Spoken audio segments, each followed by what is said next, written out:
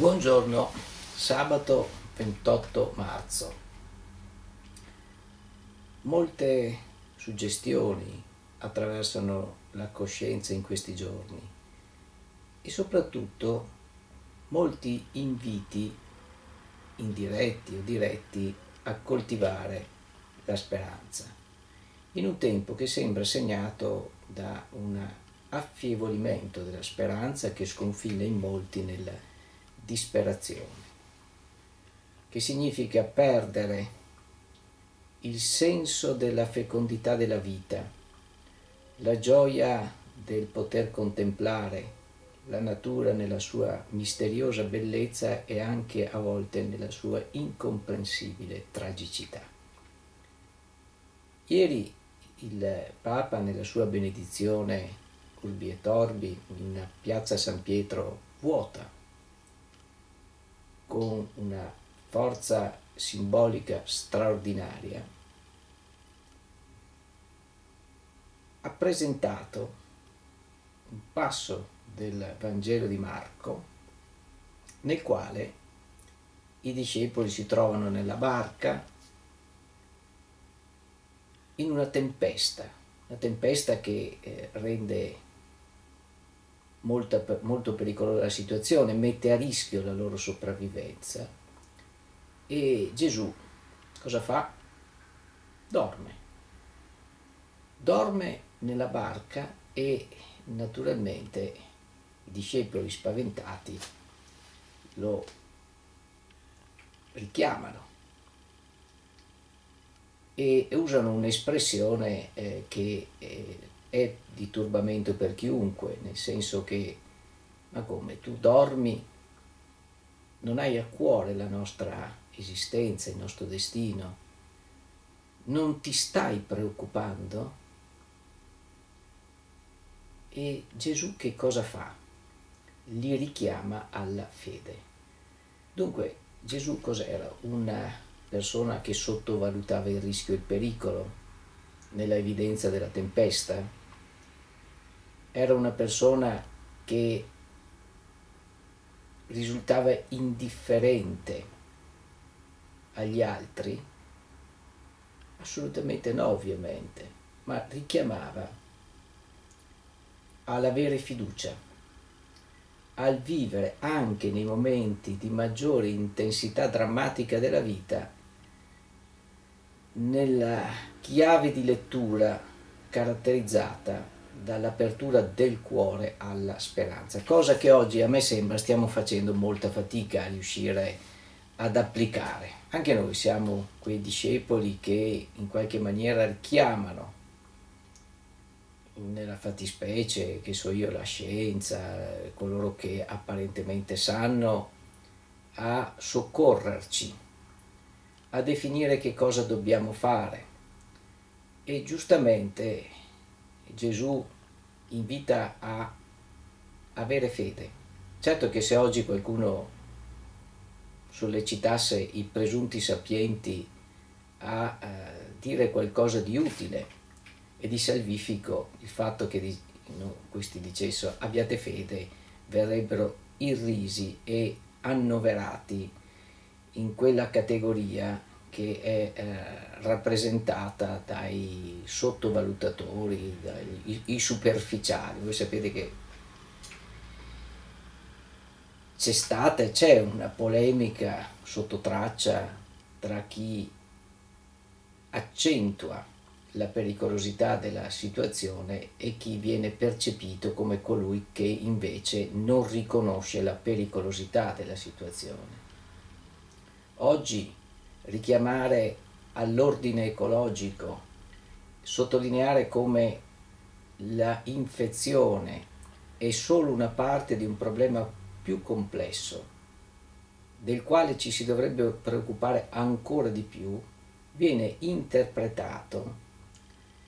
dalla ortodossia della paura come un ragionamento fuorviante e che porterebbe le persone a non concentrarsi su ciò che è necessario concentrarsi, cioè sul virus.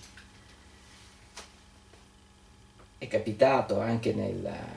nelle nostre esperienze quotidiane di incontrare persone che eh, ci tengono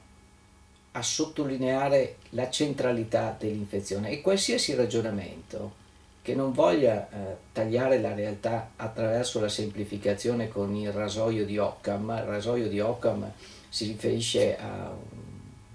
un religioso del passato che eh, si inventò questa soluzione, che di fronte alle soluzioni complesse la, la, quella più vera è quella più semplice. Ovviamente non è vero, non è assolutamente così. Quindi chiunque osi mettere in discussione questo assioma viene immediatamente dileggiato, viene considerato una persona irresponsabile. Credo che ognuno di noi ha avuto in questi giorni, quando ha cercato di aprire alla complessità, la sorte di venire eh, classificato tra gli irresponsabili, le persone che non vogliono assolutamente eh, accentuare questa dimensione della paura e dell'angoscia tra l'altro accentuare la paura e l'angoscia significa mettere in difficoltà gran parte dell'umanità e soprattutto quella parte che eh, non ha le disponibilità e le ricchezze di chi invece sembra essere molto più teso verso la focalizzazione eh, sul virus piuttosto che sulle dimensioni sociali, politiche, economiche e anche di organizzazione sanitaria che hanno fatto sì che questa infezione stia producendo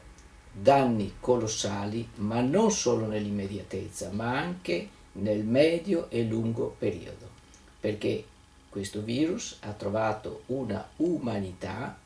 che ha irresponsabilmente devastato l'ambiente, ha creato le condizioni per rendere ancora più fragile la naturale fragilità degli esseri umani. E su questo mi richiamo ancora a Papa Francesco che nella messa di questa mattina ha sottolineato nel suo commento al Vangelo come ci sia una spaccatura tra il popolo e i sapienti, tra il popolo che nella fattispecie riconosce in Gesù Cristo il profeta, venuto naturalmente a salvare il mondo, e chi invece tra, lui chiama l'elite, molto bella l'espressione che usa, l'elite, i dottori della legge,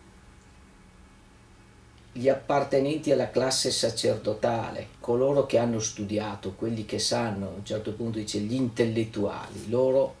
naturalmente irridono l'ignoranza del popolo.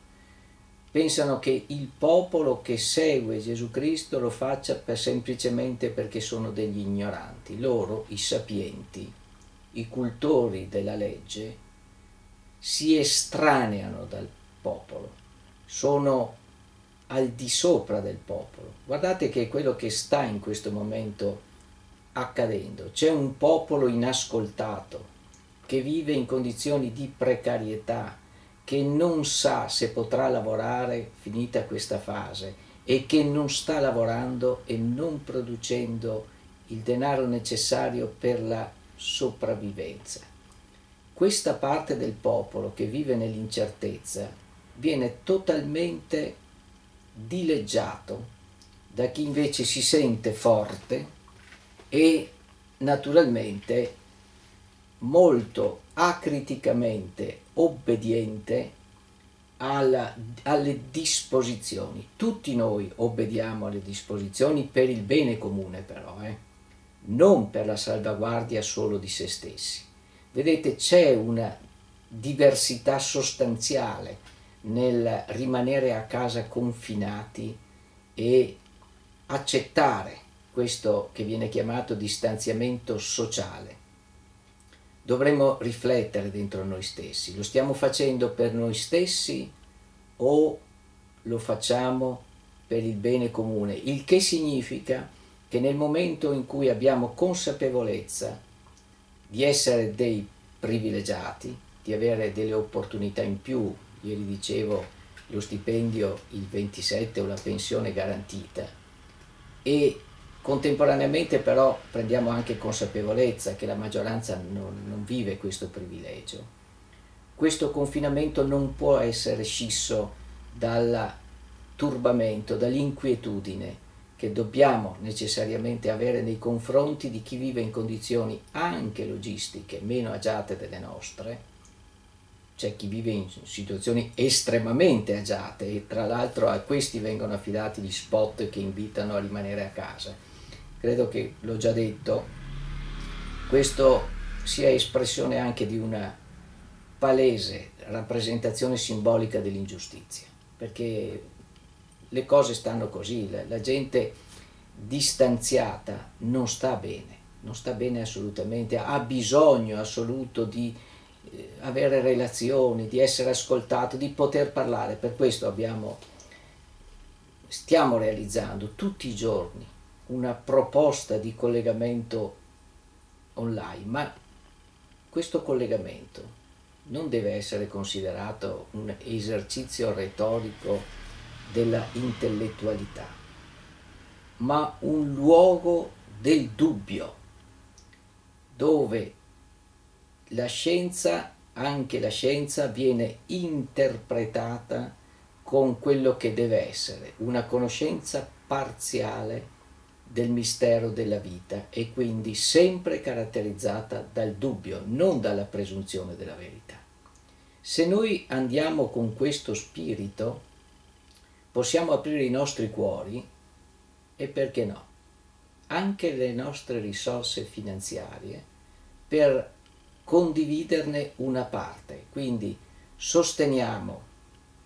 partecipando, sosteniamo investendo anche economicamente per tutte quelle realtà che in questo momento si adoperano per non conformarsi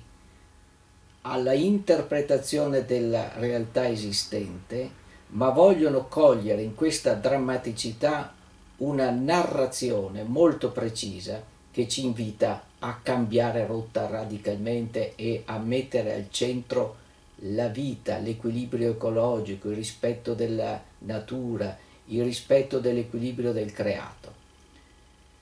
Credo che eh, Papa Francesco questa mattina alla messa con questa, eh, questo invito a essere dalla parte del popolo, ma essergli vicino in una profonda inquietudine e non rassicurarci di, di essere dalla parte del giusto soltanto perché noi rispettiamo la legge. La legge va rispettata, ma soprattutto va rispettato l'amore, la giustizia sociale e la disponibilità alla relazione e ancora di più il riconoscimento che ognuno di noi è solo parte dell'universo, non è padrone della propria casa fino in fondo perché la abita provvisoriamente, perché la casa non deve diventare un luogo di culto, ma deve essere un luogo di transito e di accoglienza. Questo eh, credo che rappresenti oggi una uno seme fecondo che ci deve cominciare a metterci in cammino anche se siamo costretti a rimanere a casa, metterci in, in cammino con lo spirito per poi dare corpo al nostro camminare, dare concretezza. Quindi vi aspetto a tutti gli appuntamenti e incominciamo anche a raccogliere fondi perché tutta quella parte della proposta culturale e delle pratiche che oggi sono in corso non solo continuino ad esistere, ma diventino una parte fondamentale di un benessere che deve essere di comunità. Buona giornata a tutti.